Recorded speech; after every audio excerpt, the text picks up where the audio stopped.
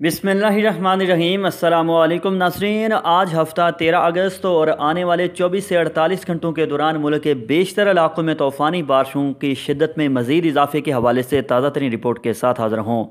ताज़ा तरीन मौसमी सूरत के मुताबिक कराची में सुबह सिंध और बलोचिस्तान के बेशतर इलाकों में तूफ़ानी बारिशों के सिलसिले जारी हैं। आज से जनूबी पंजाब के मुख्तलिफ़ इलाकों में भी ज़बरदस्त बारिशों का आगाज़ हो जाएगा। जबकि एक बड़ी खबर कि आने वाले चौबीस से अड़तालीस घंटों के दौरान यानी एतवार और सोमवार तक सुबह पंजाब खैबर पख्तनख्वा और कश्मीर गलगत बल्तिस्तान समेत मुल्क के बेशतर बालाई और वस्ती इलाकों में भी शदीद बारिशों का इम्कान है। महकमे मौसमियात की ताज़ा तरीन रिपोर्ट के मुताबिक आज हफ़्ता तेरह अगस्त से आने वाले मज़ीद सात से आठ रोज़ के दौरान, बल्कि दस रोज़ तक कराची समेत सुबह सिंध, कोयटा समेत सुबह बलोचिस्तान, पिशावर समेत सुबह खैबर पख्तनख्वा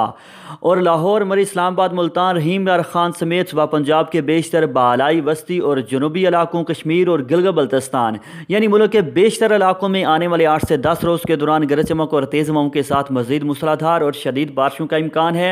सुबह पंजाब के बेशतर इलाकों में एतवार और सोमवार तक तूफ़ानी बारिशों के सिलसिले शुरू हो जाएँगे, पिशावर में भी शुरू हो जाएँगे, जबकि कश्मीर गलगा बल्तिस्तान समेत मुल्क के बेशतर बालाई और वस्ती इलाकों में भी आने वाले अड़तालीस घंटों के दौरान तूफ़ानी बारिशों का आगाज़ हो जाएगा। नाजरीन, आने वाले आठ से दस रोज़ के दौरान मुल्क के बेशतर इलाकों में, बल्कि बाज़ इलाकों में तो चार सौ से पाँच सौ मिलीमीटर या इससे भी ज़्यादा बारिशों के बायस अर्बन फ्लडिंग, शदीद मौसमी हालात, जबकि दरियाओं में ज़बरदस्त सैलाब आने का खतरा है।